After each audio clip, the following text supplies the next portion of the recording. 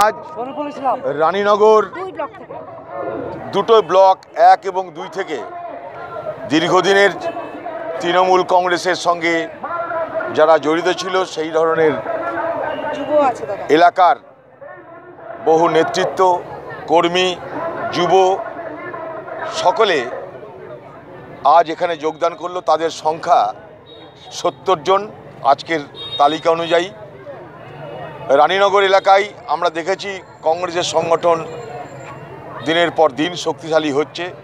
আমাদের বিরুদ্ধে আক্রমণও নেমে আসছে। কিছুদিন আগে আমরা সেখানে সভা করতে গিয়ে দেখেছিলাম যে কংগ্রেসের কর্মীদের উপরে আক্রমণ নেমে এলো পুলিশের উপস্থিতিতে।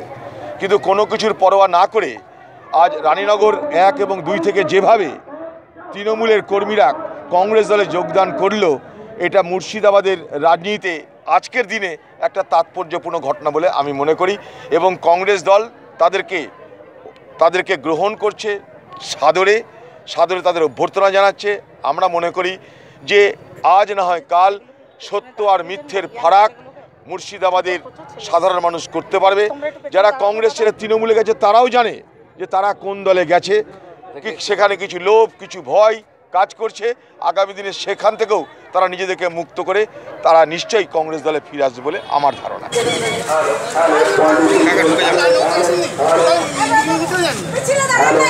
লঙে নাও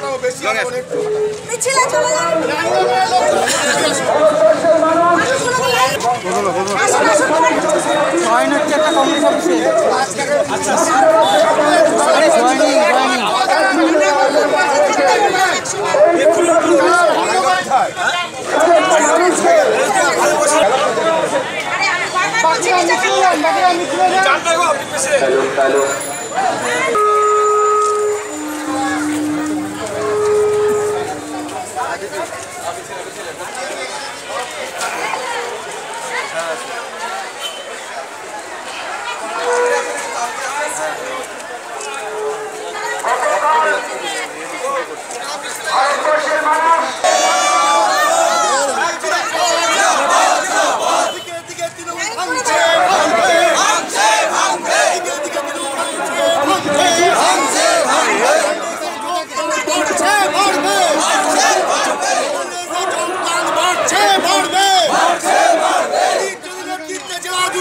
নামুন। যোগদান বাড়ছে তৃণমূল ভাঙছে ভাঙছে।